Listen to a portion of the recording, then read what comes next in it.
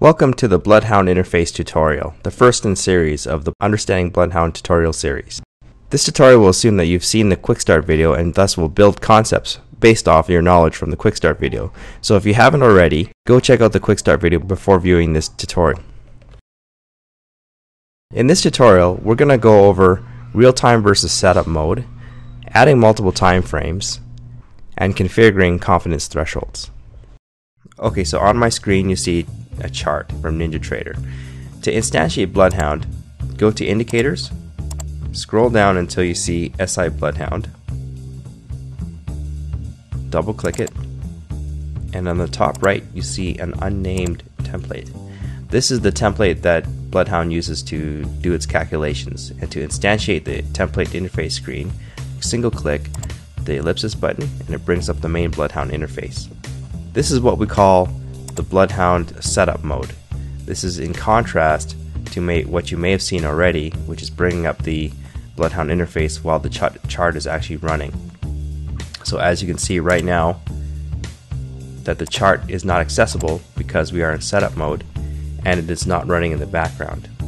Furthermore, any other indicators that we add to this screen, so again, this is the NinjaTrader indicator setup panel, and any indicator that we select here actually won't be added to the chart until we hit apply.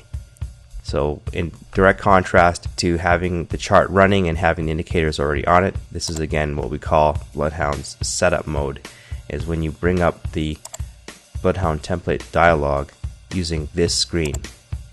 So you may see some distinctions in our documentation between setup mode and real-time mode. This is setup mode. And the reason why this is important is because certain things can only be done in setup mode, namely adding multiple timeframes. So you'll notice that this chart button is now here. And we can click multiple timeframes by just simply clicking this button. And we can go in and say we want to look at a five minute chart. I've just selected the, the top one there on the left hand side. I can change that to five. You notice that changes to five. And likewise, if we want a 30 minute chart, we can just simply select that and change that like so. Also notice on this screen here, we have this drop down. On this drop down is where all the solvers exist in Bloodhound. And we'll be going through in this tutorial series each and every single one of them, but just beware this is where they are. And to simply add one, select it, hit the add button. Notice how when I hit the add button, it fell underneath the default time frame. That was because I had the default time frame selected. If I wanted to put a solver underneath the 5 minute time frame in this example, I would select the 5 minute time frame, select my solver, add it there. I can also move these solvers up and down between time frames by using the up and down button, like so.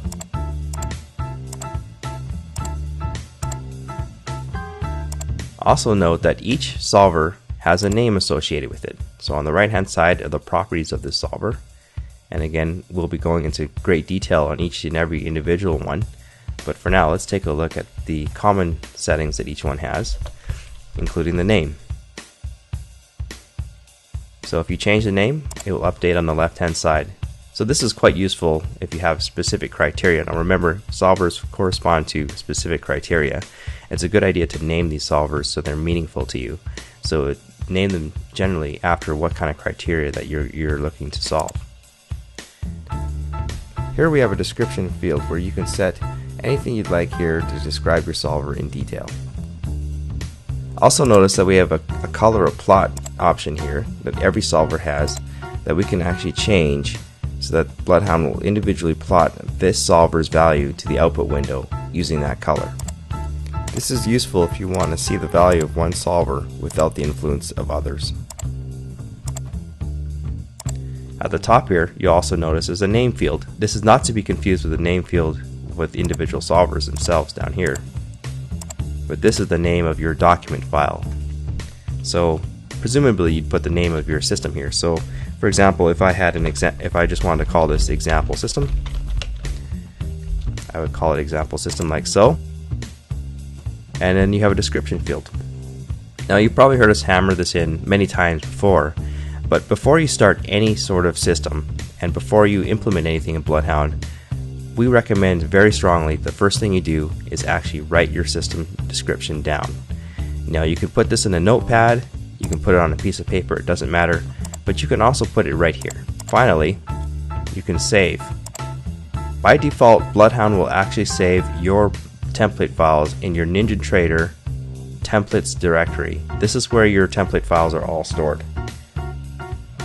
Alright, so I'm just going to dismiss the dialog, and as you can see now, Bloodhound is now on the chart. Now take note at the very top of the chart you see an example system button and you see a drop down. These are Bloodhound's buttons and if I click example system which is the name of the system I, I created earlier the same Bloodhound template appears except notice that there's no longer a chart button here and also notice you cannot load. So this is what we call real-time mode. This is again in contrast to setup mode where this, the indicator hasn't been added to the chart yet. In real-time mode however, the indicator is part of the chart as you can see on the bottom left here and any changes that we do make get instantly updated on the chart. And likewise, you will not be able to add new timeframes in this mode. But don't fret, if you need to add new timeframes, simply go back to setup mode by dismissing this dialog, right clicking, going back to indicators, selecting your Bloodhound indicator, and then selecting the template on top right. By clicking this, you'll notice that all your settings are still there, but the difference is now you have a chart button and now you have the ability to load.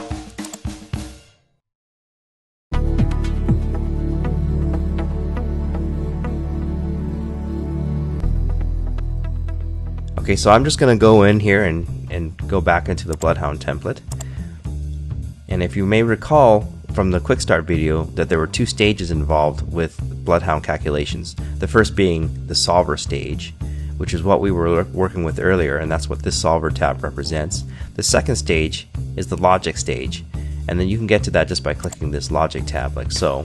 Right now it's empty, so you won't actually see anything.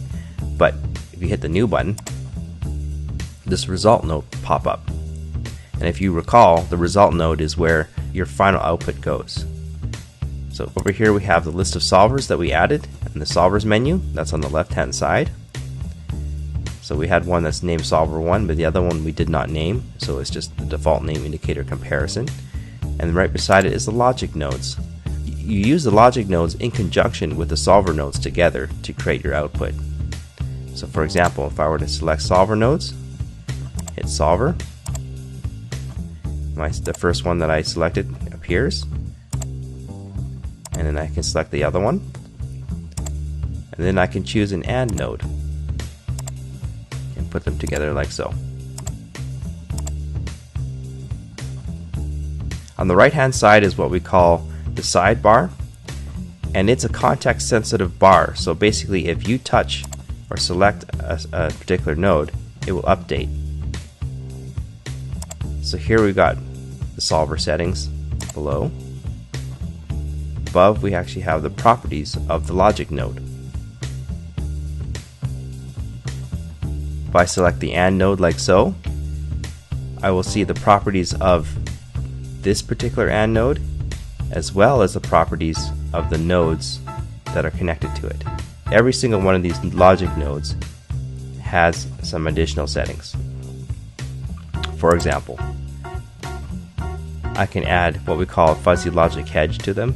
Don't worry about exactly what they mean for now, but just be aware that you can actually enhance the value that comes out of the solver. You can change the plot color. You can actually change the name as well. You can multiply the output value by a certain number. And finally, you can constrain the output value to a certain range. Now these are all advanced features and just be aware that each one of these logic nodes has additional settings to it. You can delete nodes by hitting the X button by when you mouse over a particular node.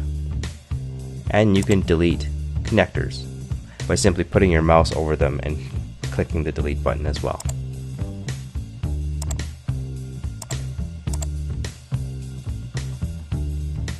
Lastly, you may actually notice that this is a drop down so you can actually create multiple logic templates. So I've just clicked it twice and now you can see that there are in fact three logic templates defined in this Bloodhound template. And I can switch between them like so. So as you may recall from the quick start video, we mentioned that you can actually have multiple logic templates defined, maybe to use in different trading conditions. So say you had one system that worked pretty good, it had the same criteria as uh, you maybe had a so maybe you had one flavor of a system that worked pretty good in a trending market, and and then another configuration that worked better in a sideways market. You could create two different templates like so, and then simply swap between them like we're doing here. Of course, you can duplicate them and you can also delete them. And now that brings us back to this drop down that we see at the top of the chart here. As you recall, we created three logic templates, and now that you can see them selectable from the drop down on the top of the chart. So this allows you to cycle between them very quickly after you've defined them. Now we don't have any settings for the other two, so they're empty but as you can see, as I select them, the screen changes and updates automatically.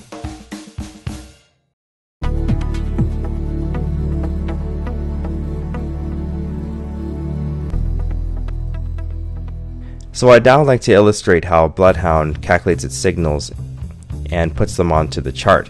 As you can see, we have these tall bars here and they correspond to a green stripe and then these tall red bars which correspond to a red stripe. And these values are basically look, compared against this threshold number, which is found by clicking the, the blue expand button beneath the logic template, which will give you some additional settings. And amongst them is this confidence threshold value. And right now they're set to 0.8, which basically means that if this bar is greater than 0.8, then that's considered a signal. And similarly, if this red bar is greater than 0.8, it's considered a signal in the short direction, and that's why we get these paints. Now, if we were to take this bar, for example, which is only 0.7, it's below the 0.8 threshold, and that's why it's not painting a green stripe. But if we were to lower this value, like so, now you can see that it's been painted. You'll also notice that if I were to lower this to 0.5,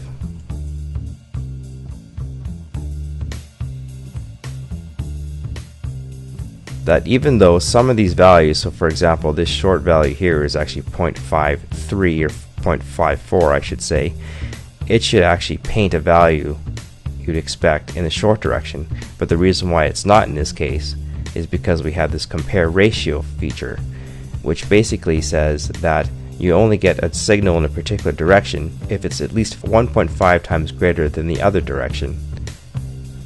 So in this case here, we have a bar that is greater than 0.5 on the short side, but it is not 1.5 times greater than the long side, which is 0.43 in this case.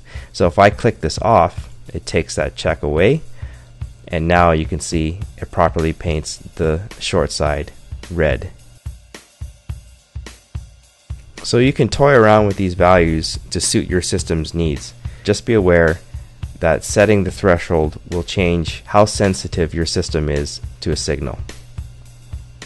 I'm now going to dismiss this dialog and I want to show you that these values are also in the indicator setup panel. So if I were to select SI Bloodhound here and scroll up a little bit, you can see that we have a long and short threshold number in the second section. And this is actually overridden by the template that we saw earlier.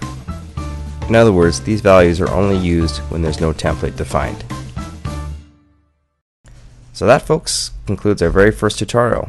In it, you learn the difference between setup mode and real-time mode. You learn how to add multiple time frames. And finally, you learn how to manipulate confidence threshold values. So thank you very much for viewing, and for more information, visit our website at www.sharkindicators.com.